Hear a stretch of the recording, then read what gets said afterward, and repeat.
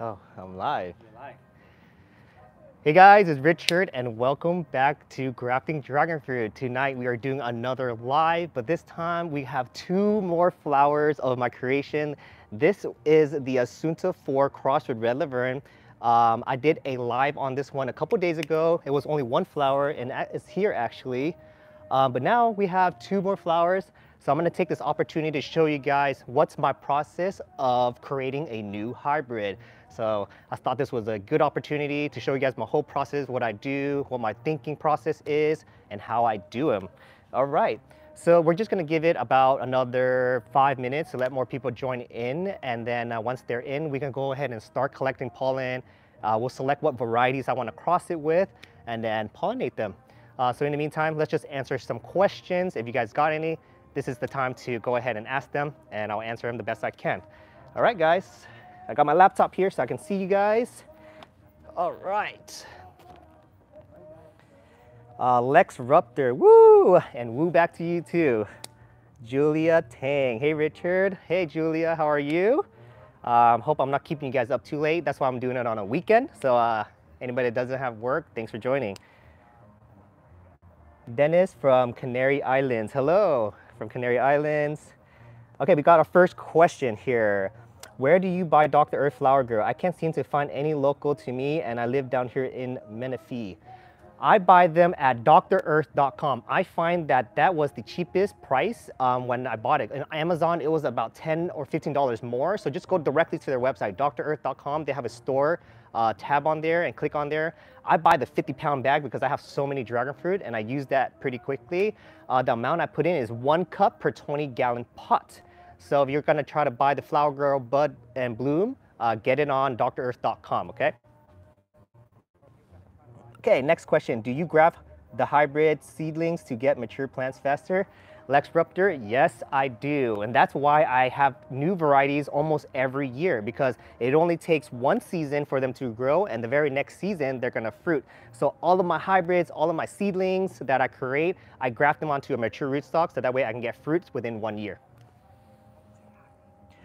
Hi guys, hey everyone, thanks for joining in. All of the new people that are coming in, welcome. We're doing a cross-pollination tonight and we're gonna be, uh, I'm gonna be showing you how I create new hybrids. So it's a very special day today. Uh, Freddie Sorto, do you sell cuttings? So this is a very common question that I get asked. I'm almost there, you guys. Um, I'm creating a website and it's called Grafting Dragon Fruits with an S.com. Uh, we're working on getting that launched. So once it's ready, I'll make the big announcements. I'll go live to let you guys know that the uh, that's where I'll be selling cuttings. So that's coming very soon. So keep an eye on that. Christina Fam. Hey, Christina. How are you? One of my biggest fans and contributors to my group. Love you guys. Uh, Yeri Dennis. My yellow dragon fruit, Palora colombiana, are not growing any growing any growing, any tips? Um, so that was a pretty hard question to read, but I think you might be knowing that it's not growing any tips as it's not growing any branches or not growing any buds. If you can clarify that for me, that'd be great. That makes hybrid creation so much faster. Yes, grafting dragon fruit seedlings does make it go by so much faster. So I recommend you guys do it and my channel is dedicated to all of that info, grafting dragon fruit. I can't wait to see the Flower Steven fam. Yeah, Steven, me neither. If my plants have 10 buds plus multiple branches, should I pluck them off manually or let them abort? So Noah, that's a very good question. I'm the type that knows what I want and uh, I usually keep an eye out on the buds. If there's a branch with four buds on there and let's say two or three of them is really bigger than the rest, I'll take off about two of the small ones and leave about two to three per branch. Um, I feel like having four or more on there is, even three is a lot. So I try to keep a minimum of two to three buds per branch and I space them out so that way they have room to grow. Um, if they're too close to each other, they're gonna compete for space and sometimes they'll grow not as large because they're right next to each other. So if you can, pick the buds that are the smallest first and then find them um, a little bit far from each other and then keep those ones on. All right, we're gonna answer a couple more questions, then we're gonna go ahead and jump into the cross-pollinating, all right, guys? All right, let me pick some, let me read some questions. Some of my fruits were getting small, but the variety I planted were not good and got big fruits earlier. All right, that sounds good. Put me on the list. Good luck, yo. Freddie, all right. Have you ever tried to cross dog tail cactus with dragon fruit? I have not tried that because I don't grow anything else besides dragon fruit, but I have seen other people do it and have success. So definitely it's possible. All right. Oh, okay. Let's go ahead now. Why do I feel like Richard's gonna make an Assunta 8 right now? you know what? I'm creating so many things. I don't know what I'm creating. Eventually we'll have a Assunta 8, but Assunta 7 just budded. So that's a video I gotta make for you guys too. Okay, how often do you water your plants? Okay, last question from Tyler in the wind. How often do I water my plants? In the winter time, I water them at least once every two to three weeks, sometimes even a month because it's so cold, the water just stays in there. And during the winter, rot and uh, fungus happens very easily. So I try not to keep them too damp in the winter, but during the summer, like right now, when it's really hot, I'm watering every two to three days. What I do is I go in here, I grab the soil, I squeeze it, and it falls loose like this, then it's ready to water. But if you can clump it and it stays a clump, then you're good. So I need to water this probably tomorrow morning because look at this, it's not staying no more. Another uh, tip is if you stick your finger in two inches deep and it's dry two inches, then it's time to water. So that's a good indication. So if you're very worried about your dragon fruit, check the soil, like here, feel them, and eventually you're gonna get used to when they need water or just time it every two to three days on very hot days. And a good like marker would be every three to five days water. Okay, guys, but in the summertime, it dehydrates really quick because these pots, they get hot and it evaporates the water.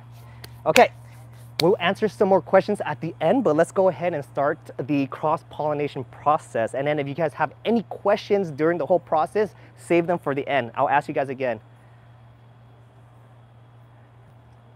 Hold on, give me one second, guys. Throughout the video, ask him to give you a thumbs up. Okay. All right, you guys, we are now gonna start the cross-pollination process. And uh, if you guys are enjoying this video, please give me a thumbs up. There's a like button right on this video. Please hit that like button. I really appreciate all the support, you guys. Love you guys all. And I know you guys will always do it because you guys love me, right? all right, guys. Okay, so we have two tonight. I can now create two different hybrids. So we're gonna use, both of these are sterile, so I don't have to worry about taking out the anthers. The anthers are these down here. If this, if this was self-fertile, I know I'm gonna ruin this beautiful flower by moving it, but this is for educational purposes. If this flower was fertile, all of these anthers here would pollinate, pollinate this flower, but because I know it's sterile, it's not gonna happen, so I don't have to remove it. But if it was self-fertile, I would take scissors and I would actually cut all of that to remove them, just in case bees start to fly in here and they touch that pollen and they accidentally pollinate this, it will, it will contaminate the, the, the fertilization and then it's gonna get both of those pollen in there. Um, another thing I do is I take uh, little net bags, fruit bags with little holes, that's like a net, and I'll tie it overnight so that way no pollinator accidentally goes to another flower and cross-pollinate. So after I finish with all this, I'll run into my garage, find those, and then put it on. Um, you guys probably won't see me doing it because we'll end that before that happens, but I'll update you guys on that. Okay, so my first flower that I wanted to cross it with was Natural Mystic. Why I wanted to use Natural Mystic? Natural Mystic is a self-fertile variety. I'm trying to bring self-fertility back into the gene pool because there is so many sterile fruits out there, but not everybody knows how to cross-pollinate. I want to make it so that it's easy for everyone to grow fruit. So if it's self-fertile, it has a beautiful flower, and it fruits on its own, that's what makes it very attractive. So I'm gonna go ahead and get those, those pollen, and we're gonna go ahead and pollinate it, okay? Let's go. Check out this bloom, you guys. This is Assunta 5. There's six flowers blooming. I did a time lapse on this, so I'll post this up for you guys to see the very next day, okay? Um, but man, smells so good and looks so beautiful. There's a lot going on tonight. Uh, it's been warm, so the dragon fruits have been blooming. We have purple haze here. So I might use purple haze for that second flower. Why? Because I just love the taste of purple haze, even though it's a self-sterile variety. I just love the, the flavor of it so much and they grow nice, big and round, sometimes really big fruits. So might do this, but if my thinking changes during the process, then I'll see. Because I've got to see what other out is there uh, ready. I also have Hannah. This is Hannah here. Hannah is also a self-fertile variety. So it either could be Hannah or it could be purple haze. I'll let you decide. What do you guys think? Should I cross-pollinate one with Hannah or should I cross pollinate one with purple haze? I'll read the comments before I do it. So if you guys can decide, let me know in the comments and I'll go, go to that and I'll, and I'll do what you guys do, okay? And this is Pink Panther. Love Pink Panther because also another self-fertile variety. And they are a great universal pollinator. So if I wanted tonight to use this pollen and pollinate all of these self-sterile or even my other fertile varieties, this would work. Pink Panther makes produce a lot of pollen and you can collect so much of this to use in all your flower and have enough to freeze and store for another night. Okay, all right, so here we are with Natural Mystic. So I'm just gonna give you guys a little rundown on Natural Mystic. This is a really, really good fruit. It's a red flesh and the flower is self-fertile and self-pollinating. And let me show you guys what I mean by self-fertile and self-pollinating, okay? Self-fertile means that the pollen will make fruit if you use its own pollen. That's why it's self-fertile. Self-pollinating means that the anthers are close enough that it can pollinate itself with its own pollen. So a lot of varieties, you guys will see that this anther here is so far from the um, tube here, and it makes it hard for them to touch the stigma. But because these anthers are so close, you can literally shake this flower and the, and the pollen will touch the stigma right here because they're so close. And that's what they mean when they say self-pollinating and self-fertile. Those two terms are completely different. Self-fertile and self-pollinating is two different terms. Self-pollinating means that it can self-pollinate itself because it's close enough to touch the other part, which is the anthers with the stigma. And self-fertile means that it's fertile to itself so you can use its own pollen. Let me just show you guys another example of a self-sterile and why it wouldn't work before we collect that pollen so you guys get a really good understanding so when you guys make your hybrids, you know exactly what you're doing. So purple haze is self-sterile and also not self-pollinating. If you guys look at the stigma, look how far this tube is from the anthers. There's no way that it's gonna touch each other. You're gonna have to hand pollinate. And that's why they have another term called hand pollinate. So self-pollinating and hand pollinating goes hand in hand. If it's not self-pollinating, then you gotta go out there to do the hand pollination. All right, guys? That's a little bit of terminology for you guys to understand the process. So when you guys are out there, you guys can tell all your friends what you're doing. They're gonna think you're an expert just like me. All right. Ooh, the light's off. Okay. Good thing I have my flashlight here, guys. We're gonna go ahead now and collect this pollen into my bowl. I normally would use this, but because I use this for every other flower, it makes it contaminated with other pollen. So I'm gonna only use this if I need to collect pollen that I don't care about, but I don't wanna contaminate, so I'm gonna use my old method. I'm gonna put my bowl in here.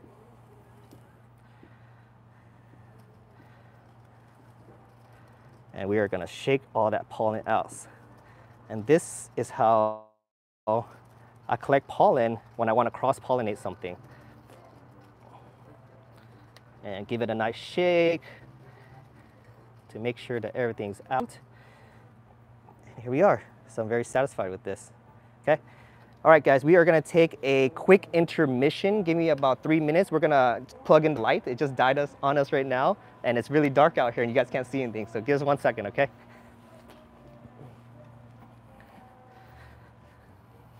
I'm gonna grab that light, and I'll be right back, guys. Hang out for a second.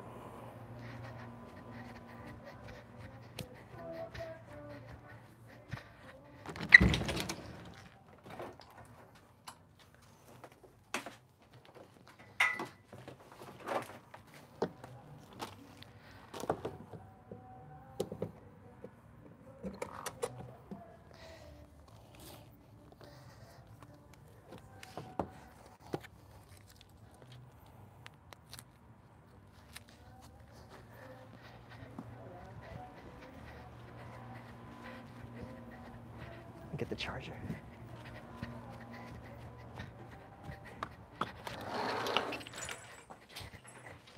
The light died on us. No. Where the fuck is the charger?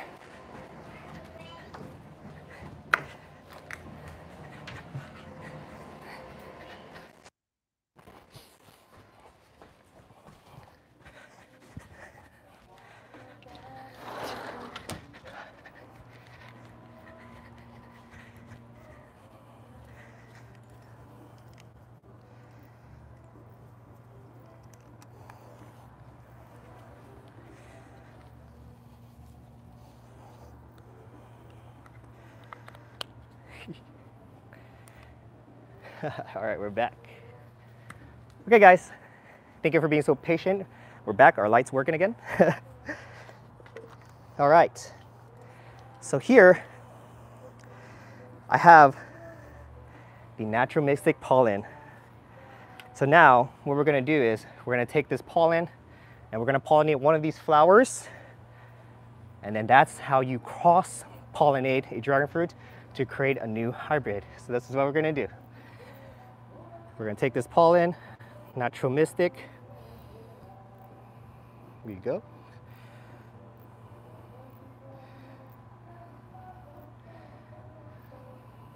Turning on my light to really see that stigma. And because I have so much pollen and I want to make sure this pollination is successful, we're just gonna put a lot on it. Cake it up with you if you can. and that's it, okay? All right, that was awesome.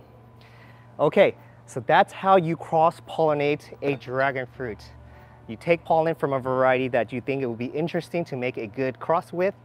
You bring it to your sterile or your mother, and then you cross-pollinate it. Oh, let me see what's going on with this.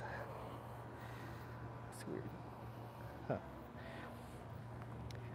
Okay, guys, so this is some information I'd like to share with you guys so that way when you're making your hybrid, you guys know this information.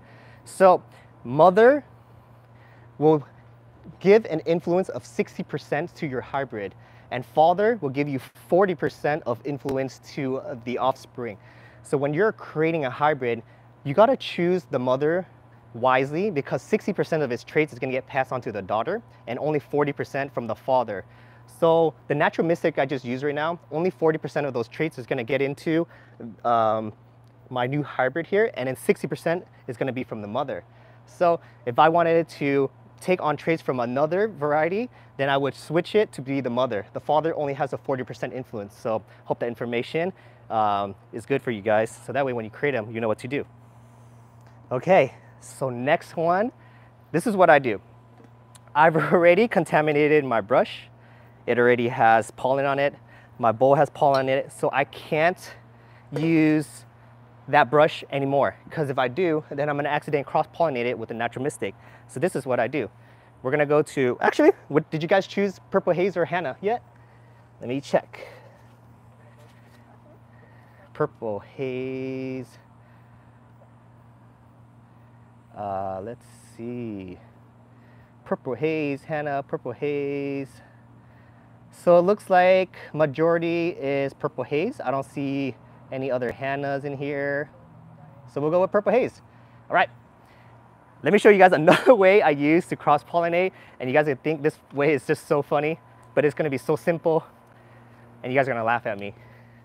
So let's go to Purple Haze. Okay, so here's Purple Haze. So my brush and my bowl is contaminated with the other pollen. I can't reuse it. I have to clean it really well, but because I'm already out here, and you can do this too. If you're cross-pollinating different varieties, this is a way that you can get it done really quick. So what I'm gonna do is, I'm actually gonna pinch these and take, take some of these, just like that. I have the anthers here. Nothing else is touching it, so we're not contaminating it. We're gonna bring it straight to the other Assunta 4 cross with Red Laverne, and we're gonna cross-pollinate it with this purple haze, all right guys? Let's move this. Turn on my light. I like to turn on my light because I like to shine at the stigma. The light helps me see the pollen. So we're gonna take the purple haze, and this is all we're gonna do. And sometimes I'll just leave it in there, just like that. And whatever is on my hands, go ahead and just dabble onto that. Just like that. and now it's cross-pollinated with purple haze. I didn't have to use the same brush and same bowl, so there's no worries about contamination. And I literally can just wipe off my hands like this, make sure it's really dry, and go do that with another variety. So that's a quick way to do it if you don't have any tools and you just want to be very fast with it. So that's how you cross-pollinate, you guys. Now, We just have to wait and see if it actually takes. Just because we cross-pollinate it, we don't know if it's gonna be successful yet because what if it doesn't um, like the pollen that I just gave it, what if it's not compatible with each other? So we're gonna have to wait five to 10 days to see if this fruit sets. If it sets, then you know the fertilization process, the pollination process was successful. And this base here is gonna start turning to a fruit. And then in that fruit, you're gonna have both of these genetics, purple haze and the new hybrid within that fruit. We're gonna take those seeds, grow those seeds, and once it sprouts into little seedlings, that's when I start to graft them. And I'll do a seedling graft and then within one year, you're gonna have a new hybrid. So each individual seed is gonna have a different variation. So there's thousands of seeds in there. So there's gonna be thousands of different variation of purple haze and this hybrid that I created. So that's the super cool part. Not all of those seeds are gonna be the same. They're all gonna be subtly different. Just like when you have kids, your daughter is gonna be one, your other daughter is gonna be different, and then you have a son just like, dragon fruit is just like us, you guys. So yeah, that is how you cross-pollinate to create new hybrids. Hope you guys enjoy the lesson. And now we'll start answering some questions. Okay, guys? All right. Let's see what we have. Okay. Stephen Fan, we had the technical difficulties. Yes, we did, but we fixed that and the light's still kind of going crazy. Uh, what are the goals when you cross species? Do you prioritize flavor, flower, aesthetic, or commercial potential. So for uh, Moo, Move Milken Nerf Herder, cool name. Anyways, my goals for cross-pollinating is to, for my process, I like to create a variety that has a colored flower that's self-fertile and self-pollinating. So that's why you saw me using Natural Mystic. I was trying to get those traits to be on this one, probably bring the stigma closer, and get the anthers to be closer so they can self-pollinate each other and hopefully the pollen work on itself. It's a long road. You just don't know which possibility can happen from any seed. So that's why you have to graft like four or five of them and hopefully one of them is self-fertile. But if they aren't, you're gonna have to just keep grafting until you find that one. It's a process of elimination, but that's called pheno-hunting. And that's what I'm basically doing. Trying to find that specific variety that's just gonna change the world. All right, next question. Pedro Munez, Hannah, oh man, you're a little too late. I already pollinated with purple haze, but I do have one more flower. And if I do have another Hannah or I'll collect Hannah pollen tonight, I'll probably do that cross. A5 white flower is Princess Sansa, reviewed by Kim Fan. Princess Sansa, um, I haven't seen that one. I don't, um, the only other white A5 I have is called Sunset Sherbet, and that's the one with orange skin and red flesh. How do you clean your brush? Oh, so how I clean my brush is I wash it with water, I run it under water, I wash it really clean, and I make sure all of the pollen is off and I just let it air dry. And then when it's dry the next day, I just reuse it. But the thing, the, the only part about that is you can't reuse it that same day because if it's wet, you're gonna damage your pollen. So make sure if you guys are washing it, let it dry overnight or have multiple brushes. I have about three brushes that I rotate when I do this kind of breeding. Tyler Newman, thanks for the great live stream. No problem, guys. And there's going to be more to come. And um, again, thank you for joining. And if you guys haven't hit that like button yet, go ahead and hit that like button, you guys. It's right down, right below me. Love you guys. All right, thank you for answering my question. Of course, that's why we're doing this. I'm hoping to do more of these lives so I can answer you guys' questions on the spot. It's so hard for me to go back to my videos to answer those comments because you guys can see that I get so many questions. It's hard to answer them all. My whole day can disappear if I just sit there and answer everyone's questions. So these uh, little lives here are awesome because I can answer your questions right on the spot, especially during dragon fruit season. I'm pretty sure you guys have so much questions when you know seasons is going on right now. Okay, let's answer about two to three more questions, then we're gonna call it a night, okay guys? Um, have a question, got, so ox dragon, ox dragon fruit, have a good question. Got seedlings from the tray inside Mr. Valdivia's house. Are those A7? Um, it depends what tray you got it from Edgar Valdivia. In his greenhouse, he has a lot of seedlings. Uh, the only way to know is you got to go there, or if you have his number, call Edgar, um, then ask him yourself because Edgar has so, so many seedlings in trays everywhere, like literally everywhere. Um, sorry I couldn't help you with that one, but uh, ask Edgar, he would be the only person to know.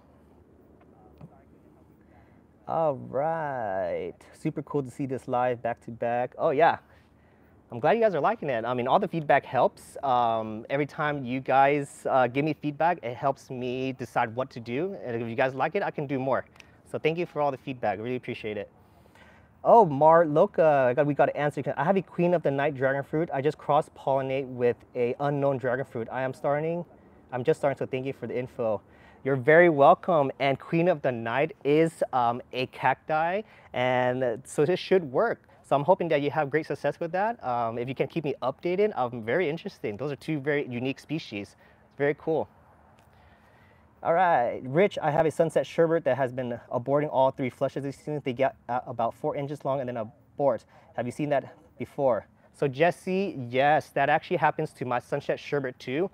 It's just so random. You know, sometimes when it's so hot, that's one reason it can abort. I've noticed when we have those really, really hot heat, like 90, 95, it kind of just like fries them and then they get weak and then they fall off.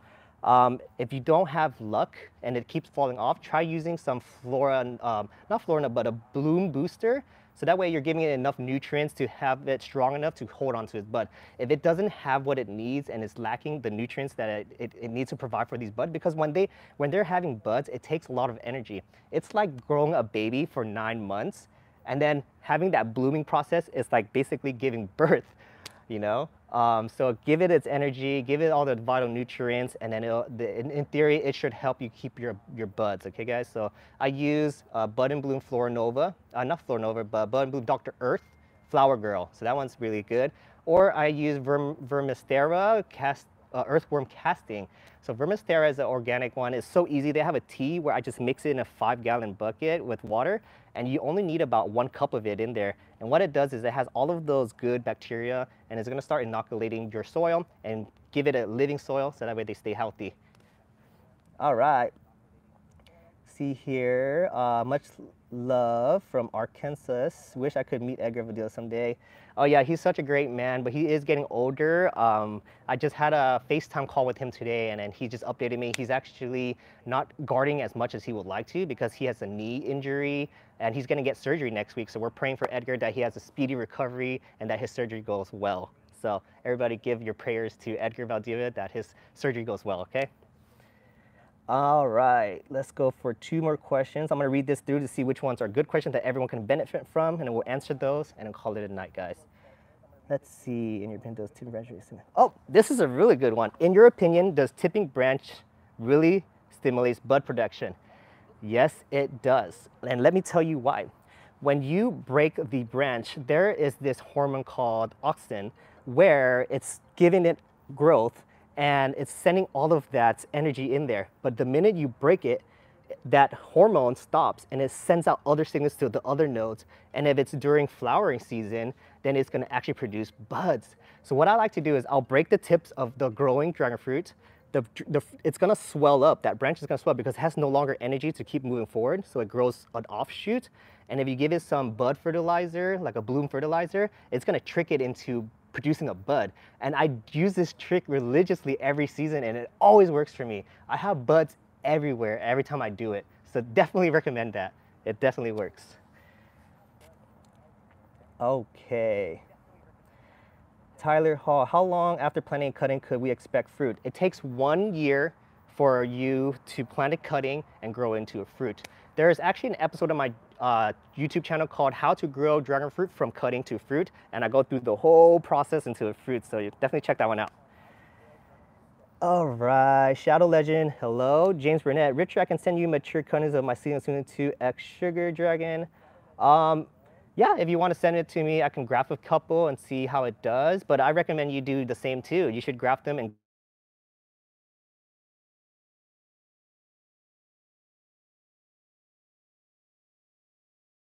question here. Hey Richard, long time lurker here. Me and my fiance Linda started planting American Beauty dragon fruit. Thanks to you. Thanks for all the tips. Thanks, Hung. I every time I read that message, message, and no matter how many times I read it, it still warms up my heart. You know, like to spread the knowledge of dragon fruit it, freely. I love it, and that's why I, I, I just spit game to you guys all day, every day, and I don't hide anything from you guys. Anything I learn, I share with you guys. Anything new that I learn, I share with you guys. So there's nothing that I'm hiding from you guys. I promise. Whatever I'm doing here, you guys are seeing face to face. Okay, so tip the younger branches. Yep, tip the younger branches. Tip any branches that has a tip. If you think that it's, uh, it's season starting, tip them and you will see flowers.